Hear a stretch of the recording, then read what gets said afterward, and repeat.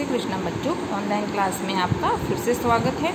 Online class में आज हम गुणा के बारे में अध्ययन करेंगे। तो देखिए, गुणा मतलब संख्या को बार बार जोड़ना।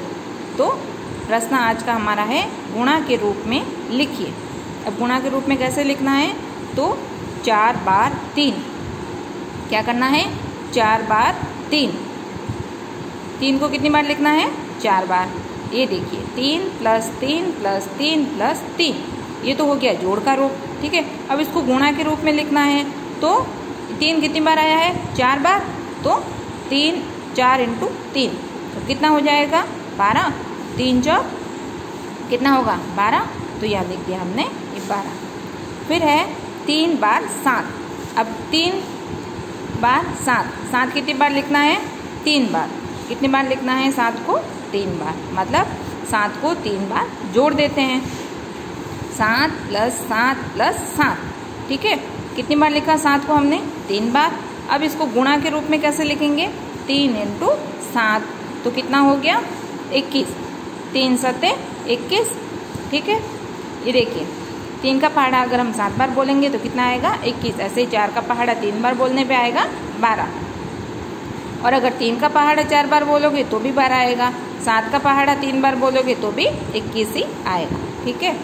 अब है अगला, पाँच बार नौ। अब नौ कितनी बार लिखना है? पाँच बार, ठीक है? तो नौ प्लस नौ प्लस नौ प्लस नौ प्लस नौ, एक, दो, तीन, चार, पाँच। पाँच बार हमने क्या कर दिया? जोड़ लिया। अब इसको क्या करना है? गुणा के रूप में लिखना है। तो पाँच इंटू नौ कितना हो गया? पैंतालीस। पाँच नम पैंतालीस, ठीक है? अगर नौ पंजे होता है तो भी पैंतालीस होगा और पाँच नम है तो भी पैंतालीस ही होगा। ऐसे ही अगला है प्रश्न हमारा, इन्हें मिलान कीजिए। क्या करना है? भाग अ और भाग ब को आपस में मिलान करना है। अब देखिए, ये गुणा दिए हुए हैं हमारे पास में, गुणा की संख्या दी गई है। अब इनको दोनों को आपस में गुणा करने पे बराबर संख्या, अब जैसे तीन चौक बारह है तो इसमें भी ऐसी कौन सी संख्या है जिसको गुणा करने पे बारह आएगा? तो हमें वो संख्या से मिलान करना है। तो देखिए, सबसे पहले हम क्या कर लेंगे, इनको गुणा कर लेते हैं, है ना? ऐसे हम सीधा भी मिला सकते हैं, पर आपकी आपको आसानी रहेगी तो इसलिए सबसे पहले हम आगे की संख्या कर लेते हैं, ताकि आपको मिलान करने में आसानी होगी। अब जैसे ये कितना है, तीन चौक कितना हो जाएगा यहाँ पे? बारह आएगा, है ना? यहाँ लिख दिया बारह। अब पाँच छंग कितना होगा? तीस। फिर छः तिया कितना होगा? अठारह। छः का पहाड़ा तीन बार बोलेंगे तो क्या संख्या आएगी? अठारह। ठीक है? फिर है, सात चौक कितना होगा? इक्कीस। सात चौक अट्ठाईस। ये देखिए। फिर है, आठो पंजा, चालीस। तो यहाँ लिख दिया हमने, चालीस। फिर है, पाँच सत्ता पैंतीस। ये हमने लिख दिया, पैंतीस। अब ये संख्या है, आराम से मिलान कर सकेंगे, है ना? फिर तीन दाए, कितना होगा? तीस। छः दूनी, बारह। सात चौक अट्ठाईस, नौ दूनी, अठारह, और सात पंजा कितना होगा? पैंतीस, और दस दस चालीस। ठीक है? अब हम इन गुणा को आपस में मिलान करना है। अब यहाँ कितना आया है? तीन को चार से गुणा किया तो यहाँ आया बारह।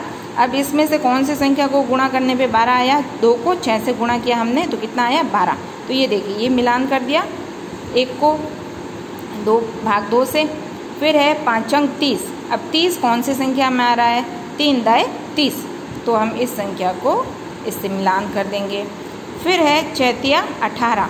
कितना है? चैतिया अठारह। तो देखिए, अब इसमें से कौन सी संख्या को गुणा करेंगे तो अठारह आएगा? ये देखिए, नौ को हमने दो से गुणा किया तो संख्या क्या आई? अठारह। तो ये हमने इसको मिलान कर दिया। फिर है सात चौक अट्ठाईस। अट्ठाईस आया है। अब इसमें सात चौक चार सत्ते अट्ठाईस। तो ये देखिए। ये हमने इसको मिलान कर दिया। फिर है आठों पंजा चालीस। अब इसमें दस चौके, चालीस। तो इसको आपस में मिलान कर दिया चालीस को चालीस से। अब है पाँचों सत्ता पैंतीस। अब इसमें पैंतीस कहाँ आ रहा है? सत पंजा पैंतीस। तो ये हो गए हमारे मिलान।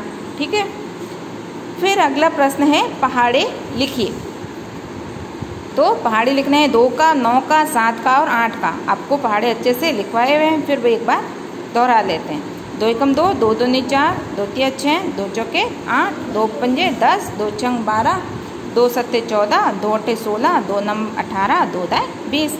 फिर है नौ का तो नौ एकम नौ नौ दूनी अठारह, नौ तिया सत्ताईस, नौ चौके छत्तीस, नौ पंजे पैंतालीस नौ छंग चौपन नौ सत्य तिरसठ नौ अटे बहत्तर नौ नम इक्यासी नौ दाए नब्बे।